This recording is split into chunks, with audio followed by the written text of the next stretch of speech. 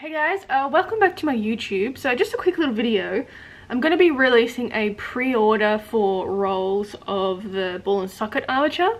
So I'm going to be doing an order from the wholesaler soon and I thought that I would offer a pre-order for people that want to buy rolls but don't want to buy from the wholesaler or can't.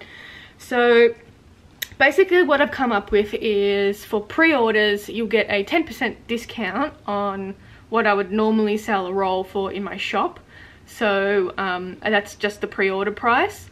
Um, but I can show you the rolls that I'm talking about and I'm going to offer three sizes.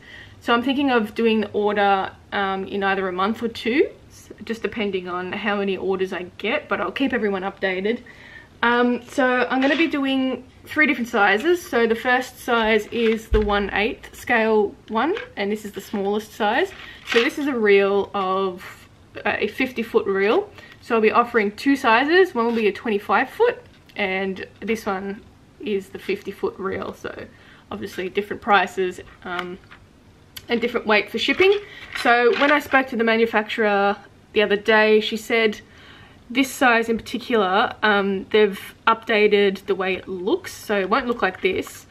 Um, so you can see that it's got like an elongated joint or cup, I guess. So basically she said the cup's a little bit smaller and provides a better um, flexibility, but the end of the end, which is this little bit here, the end is exactly the same, so you can still use all the accessories that, which is a tool and the little, the little joints. She said you can use the same accessories, um, that it just has better posability. So this is the 1 8th scale uh, smallest size. The next one is the middle size and it is a 1 4th scale. So I've used a little bit of this, uh, but so it will, I've used just a tiny bit of this. So again, it'll be a 25 foot or a 50 foot. This one is a 50 foot reel um, and these, these haven't changed either. So again, it is a little bit bigger, but, and that means the shipping will be a little bit um, more expensive as well but it comes on these spools so you can put it on and reel it off. But this is the i use this one quite a lot for bigger dolls um, like medium medium to big size dolls just depending on the weight of the head. And um, it's pretty it's it's got the most joints that you can attach or the most accessories that you can attach to the joints. So that means like the, the plus joints and um, the Y joints and stuff like that. So that is the second one the third one is I use it for bigger dolls, so basically the stags and big lions and bears and stuff that I've used it for. So it's a 3 8 size. And this is a 50 foot coil. I haven't used any of this one, but you can see it's a little bit bigger. It is quite hefty, so the, the shipping will be um, a lot more again. But it will be offered as a 25 foot coil or a 50 foot coil, just like the rest of them. So that is what it looks like. You get a fair bit of armature in these ones.